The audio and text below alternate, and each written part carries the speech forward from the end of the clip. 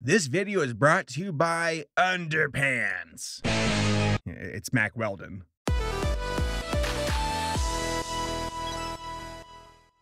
So I went back to the old inbox on my email and I had a recommendation for a movie called. Oh, oh, oh. I forgot the name of the movie Donkey King. Never heard of this one. Something new, something from Pakistan. So I looked it up on Google and I thought, hey, this film looks kind of good. I like the models, the posters look competent, and I've been on a binge of watching international content recently, so I thought, hey, let's check it out. Also, these Amazon reviews are like raging about the movie. You got some good stuff here. It's like, this movie taught my kid about politics. This movie is so important for kids to learn about politics. That's that's the theme. That's the running theme I'm seeing in these Amazon reviews. Needless to say, the stakes are pretty high.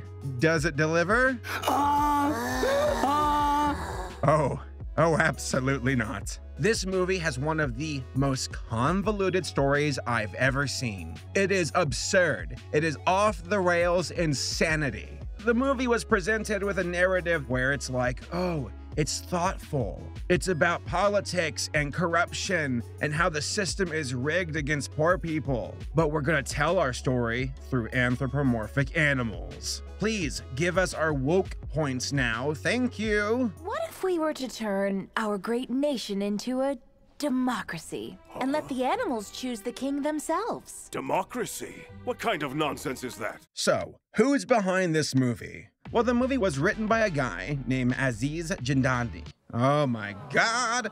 I looked it up and I already forgot how to say his name. I'm sorry. Aziz Jindani. Well, this guy is Pakistani. He worked on a show from Pakistan called Commander Safeguard, which is apparently a show that is about promoting hand washing to children. I mean, Americans have Captain Planet, so it's not too outlandish, I guess. But Aziz here thought in 2016 hey, let's do a movie. I'm going to start my own animation studio called Talisman Studios, and we're gonna make the Donkey King. And he did. He and his team finished this movie, and it was released in 2018, and it was very successful in Pakistan.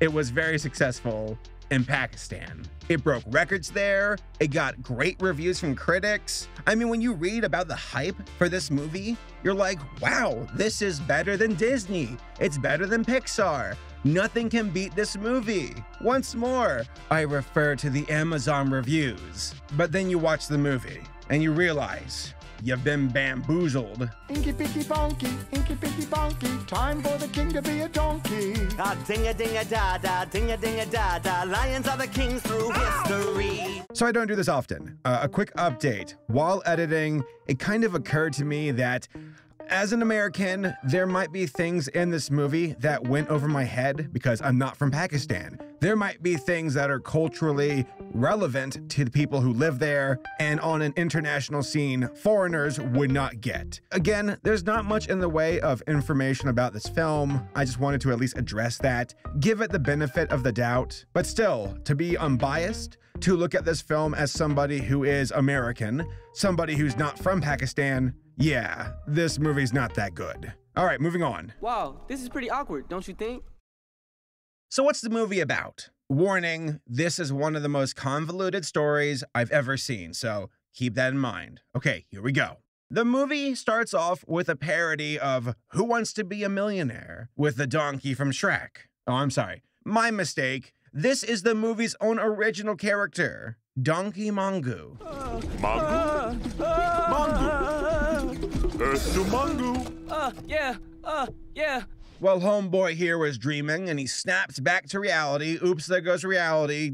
Th- there goes reality. Okay, so he snaps back to it. His uncle's yelling at him, and we discover oh, he's actually just a washer boy. He's a poor donkey in a poor city, and all he really has are his dreams, and that's it. Oh, and by the way, Mongu's father here is dead, and he'll randomly appear and be like, Don't give up, son. And I'm pretty sure he's voiced by Dr. Robotnik. So, you know, cool. Mongu, my son, listen.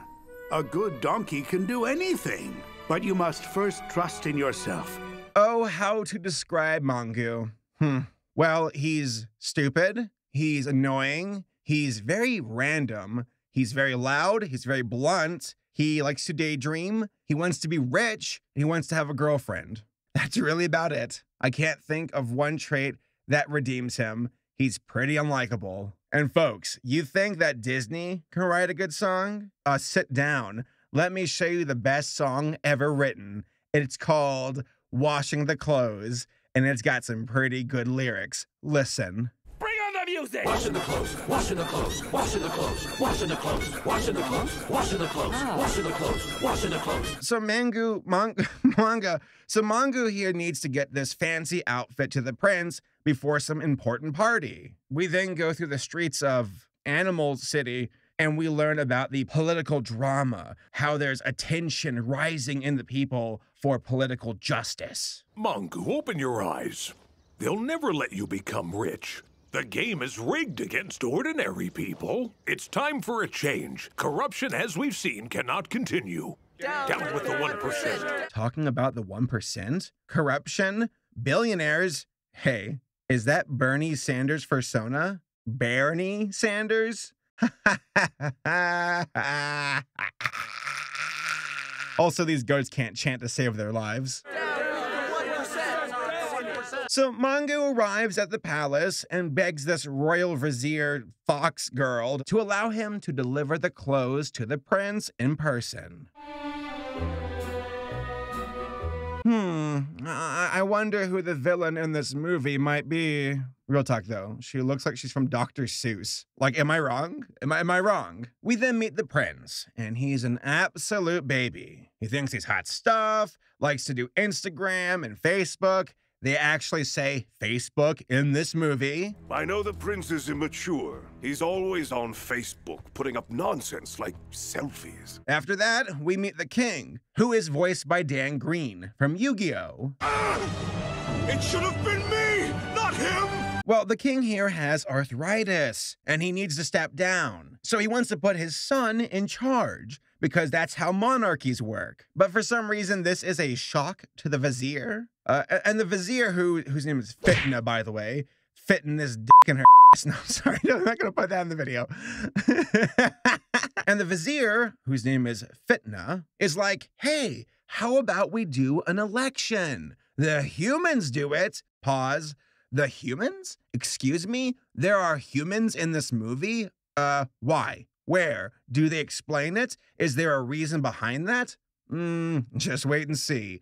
Just wait and see. It gets so much worse and it gets very confusing. Oh, and by the way, you can't mention humans without mentioning human politics and how we are corrupt and how the animals can't do the same because it is beneath them. Even though Fitna here is like, we can hold a fake election to make the prince look good and have a bad candidate run against him to give the illusion that there's a choice for the people of Animal Town. Animals will think they voted for a king, but except everything's been already fixed. As long as things go according to plan, the prince wins. It's the same way humans choose their own king all over the world, you see? No, it should have been me, not him! We then meet Fitna's assistant, a chameleon named Godzilla. And both of them are in like cahoots with this fake news station ran by a bunch of chimpanzees called like Monkey News. And it's so on the nose. These monkeys are like, we're corrupt, we're fake,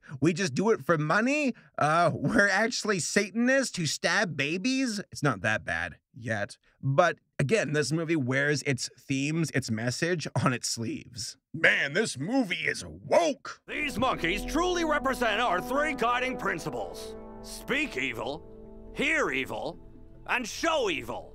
Then we jump forward to this festival where Mongu accidentally gets involved in a bullfight. He actually gets chased by anthropomorphic bulls and then runs into a stadium and gets into a fight with a non anthropomorphic bull. This one has hooves, this one has hands. This one can't talk, this one can talk. Do they ever explain it or why there's a difference? Because, you know, for world building's sake, I'm curious. Of course they don't. Oh, and by the way, Ferdinand called. They want their model back.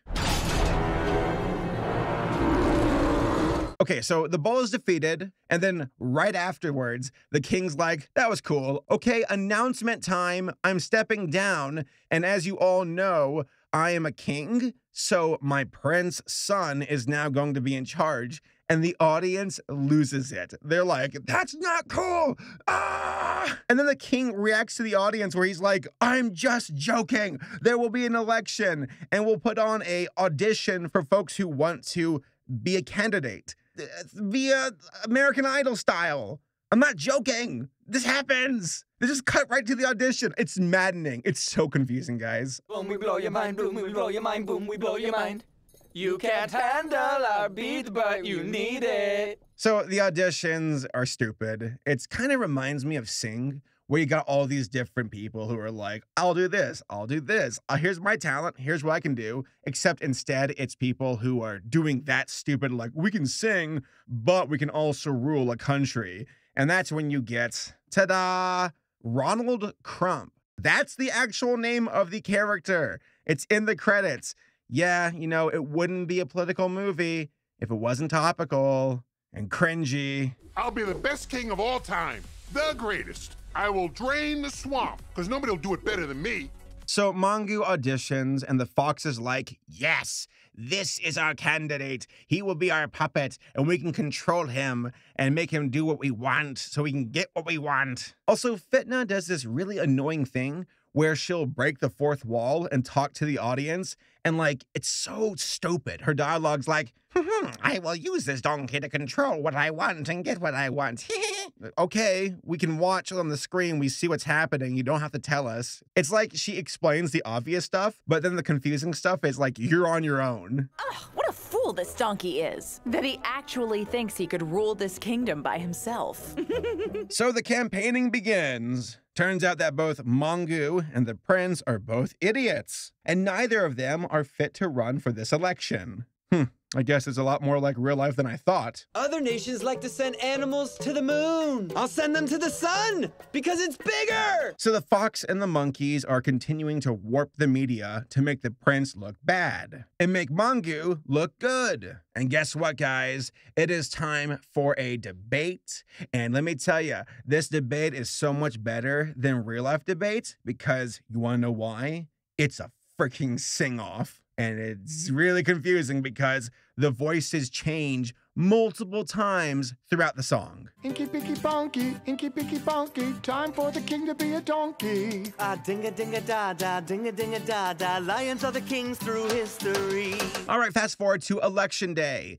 And some folks are going out to vote, not everyone. But then, like, Fitna makes this very bizarre decision where she's like, we have to stop people from voting for M- Mongu, Magnus. Mm, We have to stop people and prevent them from voting for Mongu. And I don't know why. I literally do not know why. I mean, isn't that the point? Don't you want him to win? So why would you use voter suppression to stop people from going to vote? That doesn't make sense. Unless, and, and here's how things play out. So maybe I'm wrong. So the bear is being bullied. It's voter suppression. And the bear lets out this speech. By the way, he's got like this clap where he's like, I beg you, vote. I don't care who you vote for.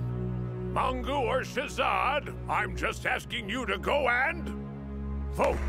So he's like, we should go vote. And now the people are rallying and going to the polls. Are you telling me that this was part of Fitna's plan? Was her entire scheme to actually get people so pissed off that they would go vote in force? Because if so, that is some 4D chess right there.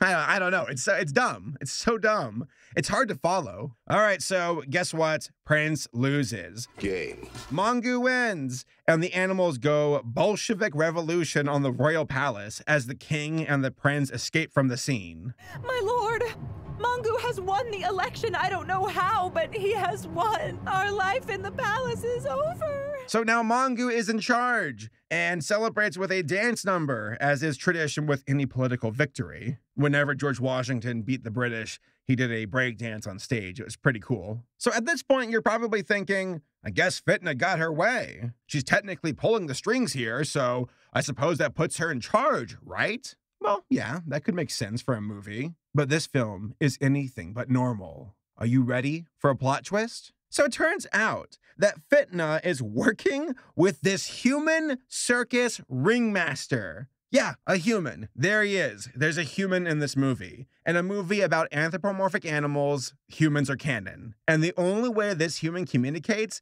is through growls and evil laughter. That is not an exaggeration. He never talks. He calls Fitna on the phone and just ah ha ha ha ha ha ah, ha ha ha ha urgh." That's the only dialogue. It's ridiculous. They have some plan they allude to, and it's about weakening the government. Oh man, sounds serious, right? Well, the plan goes through, and they put like a turtle in charge of the police. They put some giraffe in charge of like complaints. You get it? He's so tall he can't even hear complaints because there's a disconnect. Lando, do you agree? He's so crazy tall that none of the people's complaints will ever make it up to reach his ears. That's the joke. So animals start to disappear, and the turtle police officer isn't doing anything about it. It gets to the point where the animals show up to the palace again and are like this close to having another Bolshevik revolution. But Mongo's like, stop, I'll fix this, all right? Give me a magnifying glass. I'll go find the culprit myself. And what are the odds? He goes out to the forest, finds this random house, and ta da! He finds the missing animals, a la Zootopia style. You shouldn't be in there, my lord. I mean, ex-lord, because I'm king now. Wow, this is pretty awkward, don't you think? Get us out of this cave! Mongo finds the king and the prince, and he's like, "What's going on?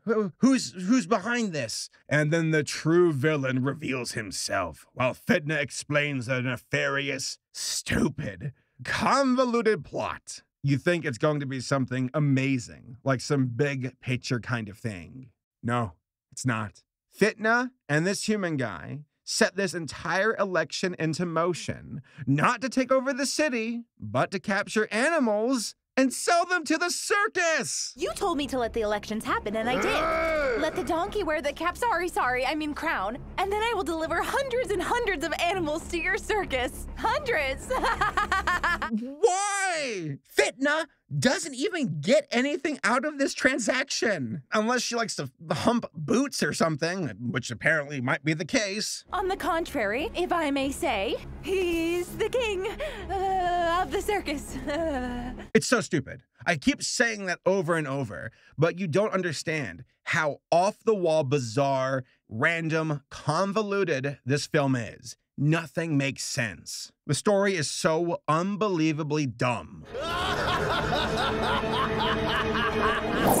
All right, so here's the end game. Mongo's dead father, just like Ghost Yoda, shows up and he tells him, Hey, you gotta save your people because they voted you to be the king, even though Mongu did not earn it. And then Mongu's like, You're right, Dad. I have to rise up and be who I need to be. And he chases down these trucks that are transporting the animals to the circus. They're on their way to the circus, but I'm the one who's gonna stop them.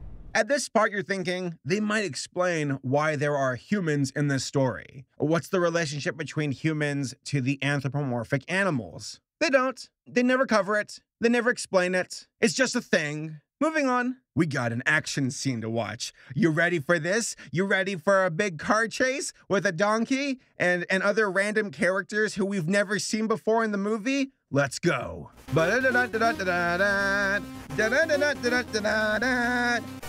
That's a Cowboy Bebop theme. Okay, so there's this big chase scene, a bunch of wonky action, dumb dialogue, fake, stupid drama that I'm supposed to care about.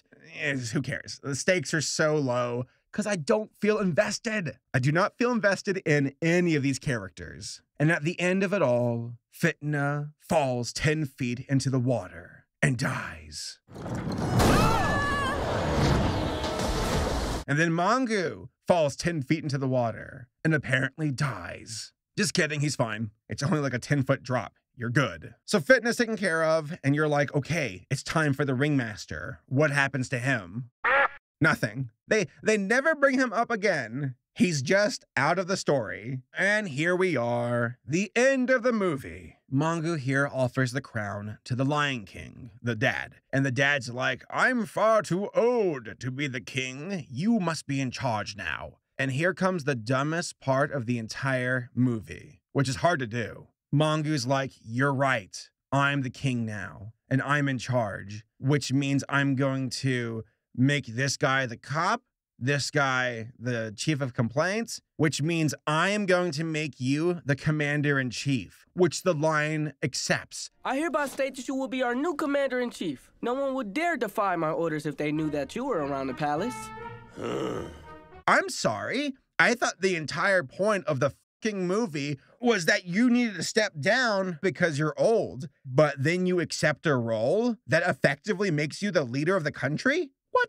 What? What? What? What? It's like, oh, I'm the king. Well, cool. Uh, you're now the president. Oh, thanks.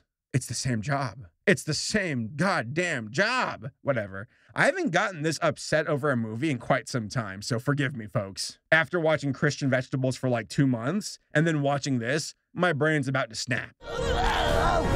And then Mongo talks to Bernie Sanders. The bear is like, the story's about putting the right people in power in order to be the most effective rulers they can be. That's the moral. That's our story about politics. If you put the wrong person in a position that's wrong for them, then nothing's going to ever work. Oh, I get it now. And also, the monkeys are like, fake news bad. We won't be fake news no more. Hoo hee hoo ha ha. And that's the movie. Monkey News shall speak no evil, hear no evil, and in the future, we will show no evil. Uh, sir? The ratings? I said, forget the ratings. All right, so what were my thoughts about the movie? Let's talk about the story. As I said before, it's incredibly convoluted. It's all over the place. It's hard to follow. And honest to God, it's just, there's no explanations for some of the world building. There are humans, okay. Uh, why? They don't explain it.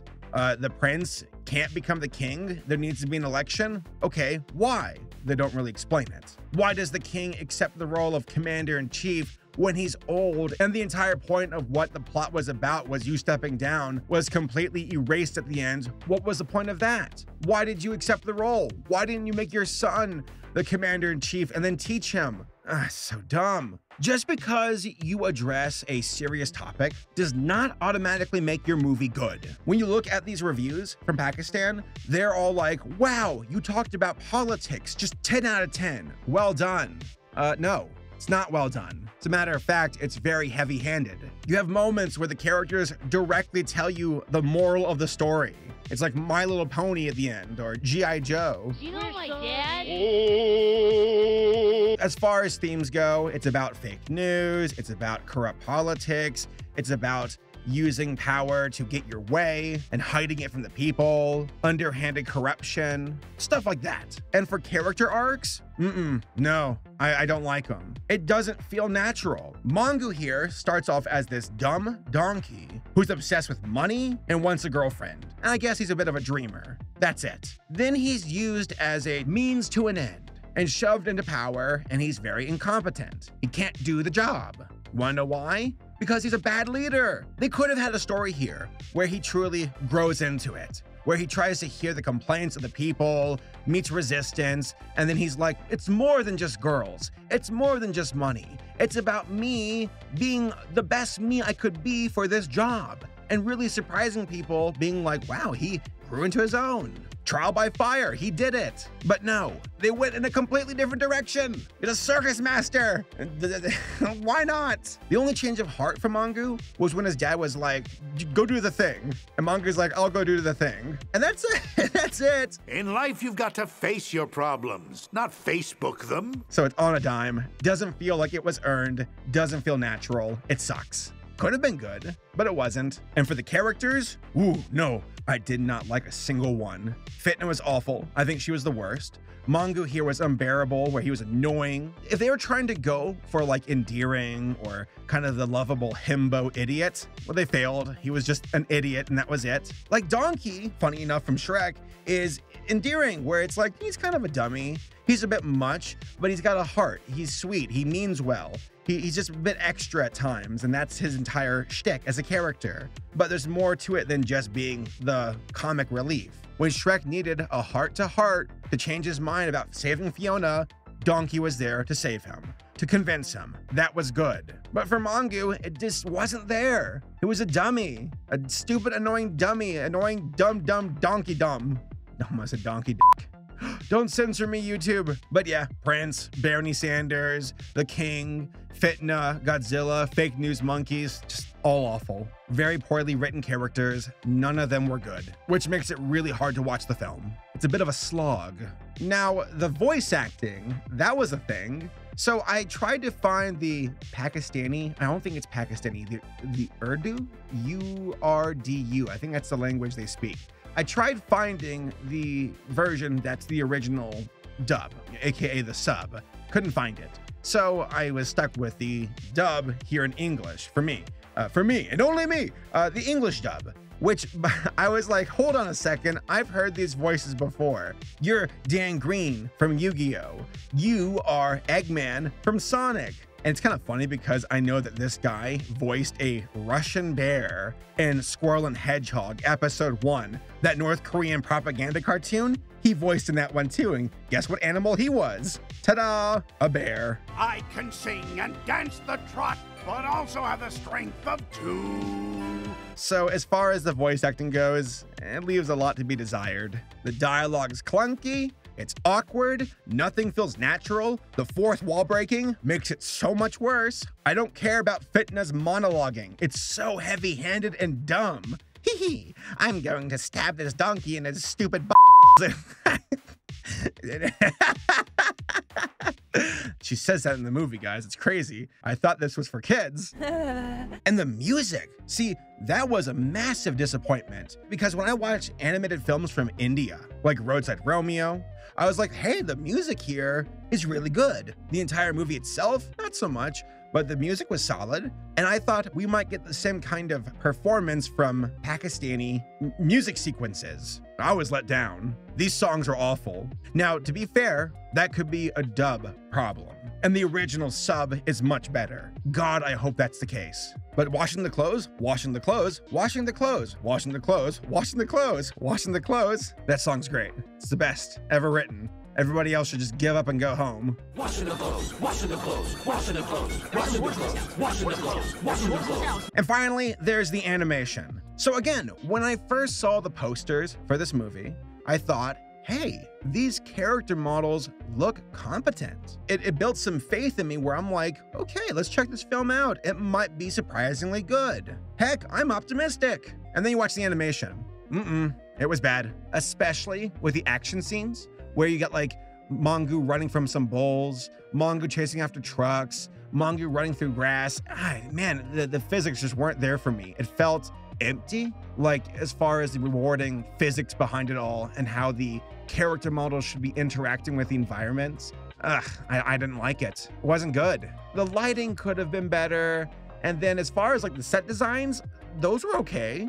Like the stadium, the palace looked fine. You got some particle effects at the start. So there are like competent animators who worked on this movie, but there were parts where it's like dropped in quality, other parts where it's like, okay, they kind of know what they're doing. I don't know. Why couldn't they see eye to eye?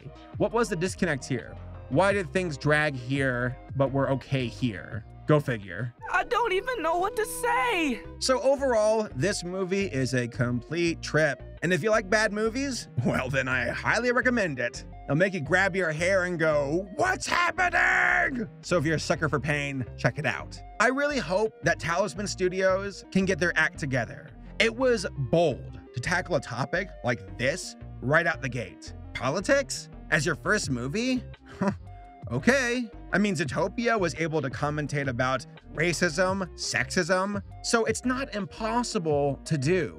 But like, again, for you all to tackle this subject as your premiere film, woof, that was ambitious. and in my opinion, a bit much. Try to do some things that are a bit more you, a bit more story driven with, like, I don't know, adventure fantasy, uh, sci-fi. Uh, hey, I want to see if you guys got any Pakistani lore. Let's do that. I'm all about like the Chinese companies right now who are doing like, oh God, oh God, what's it called? Journey to the West? That's cool. Like right now, I see uh, Chinese animation studios, Korean, Indian, where they're doing stories that are based on their own cultural lore. That's cool. I want to see more of that. I'm not sure if these Pakistani animators want to even talk about their lore. It's their choice, it's their studio, and obviously they did something right because Pakistan loved this movie, so hey, what do I know? Personally, I think this studio has some kinks to hammer out. Not those kinds of kinks, the other kind. So it's finally happened. Saberspark is promoting, well, you know. Real talk though. A big shout out to Mack Weldon for sponsoring this video and for hooking me up with the most comfortable lounging clothes I've ever owned. A few weeks ago, I got a new pair of socks, sweatpants, a hoodie, and underwear from them, and I legit love them. It was so easy for me to go to their website, order the clothes I want, and then they arrived incredibly fast. I was very impressed. For the sweatpants, I wear them in the evening when chilling around the house and working on my computer. For my hoodie, I wear it when I exercise so I can build up a sweat. And for my boxer briefs, well, I'm wearing them at this very moment. And guys, they are very comfy. Mack Weldon even has a policy where you can refund your first pair of underwear if you don't like them. No questions asked. But that was never needed for me. It was a slam dunk from the get go. The fabrics are comfortable, they breathe well, they don't itch, and honestly, the clothes look super fashionable and they fit well on my body. Not too big, not too tight. It's a perfect fit. And check this out. Mack Weldon even has a loyalty program called Weldon Blue. Level 1 gets you free shipping for life. Level 2, which you unlock after spending $200, well, Mack Weldon will start giving you 20% off your entire order for the next year. So hit up mackweldon.com slash saberspark and use the code SABERSPARK to get 20% off your first order. Again, and I mean this, I love these clothes. I asked Mack Weldon to let me try out their stuff before promoting it, and they absolutely delivered. They're trustworthy, they make great clothes, and I highly recommend them.